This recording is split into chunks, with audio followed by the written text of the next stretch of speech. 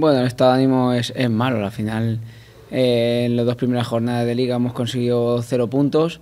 Está claro que no era nuestra intención entrar en la, en la competición de esa manera, pero bueno, hay que, hay que digerirlo, pensar en el San Cristóbal, en conseguir lo, los tres puntos para intentar cambiar un poco la dinámica y bueno, con eso vamos esta semana intentando trabajar para llegar la mejor manera posible al partido. Bueno, yo creo que más que en la fase, la fase, defensiva, yo creo que en las dos áreas, ¿no? Somos malos hoy en día en las dos áreas, en la nuestra y en la contraria, y ahí están los números, un gol a favor, cuatro en contra, cero puntos. No hay más análisis que ese.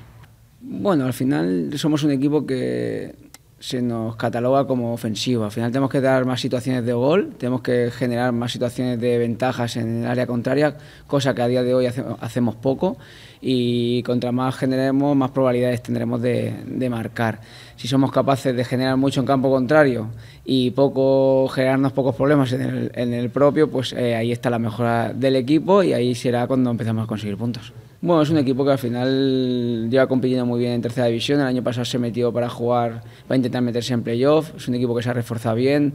Oliver siempre dota a sus equipos de mucha intensidad, de rigor táctico y que nunca lo pone fácil. Sé que va a ser un partido muy difícil sabiendo que ellos están en un estado de forma mejor que nosotros. Nosotros venimos con las urgencias de perder dos partidos.